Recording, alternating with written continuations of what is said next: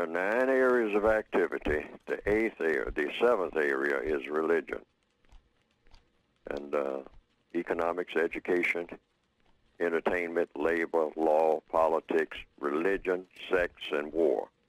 The white supremacists, when they got the idea that they were going to establish something called white supremacy, they said we have to dominate these people in all areas of activity, including their religion, particularly their religion, because religion is what? A strong belief backed up by action. That's all any religion is. And the white supremacists said, we're going to make white supremacy the strongest religion that has ever existed. They have succeeded in that. They are not in the process of doing that. Christianity, Hinduism, Islam, Confucianism, Judaism, all of these other religions don't come anywhere close to being as strong as the religion of white supremacy. A strong belief backed up by action.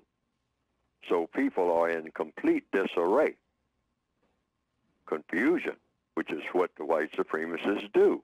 They confuse people. Well, we got them confused. We're working on getting them all confused sexually.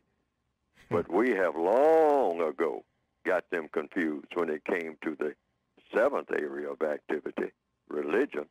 All of these dark-skinned people around here killing each other, hitting each other over the head with the Bible, having endless barbershop arguments about what Ezekiel meant or what Solomon did or didn't do or what Ruth said or didn't say.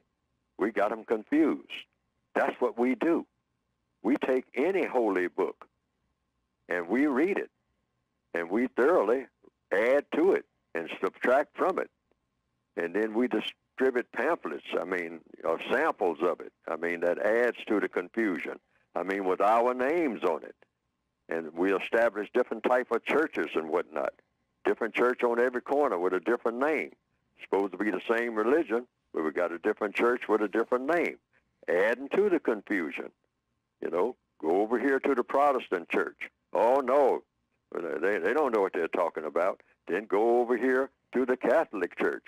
And, oh, no, they don't know what they're talking about. Well, what about Jehovah's Witnesses? Okay, well, we'll sample some of that. And they don't know what they're talking about. And then the white supremacists sit back, well, when it comes to all you dark-skinned people, you got one religion. And that's the religion that I say that you have.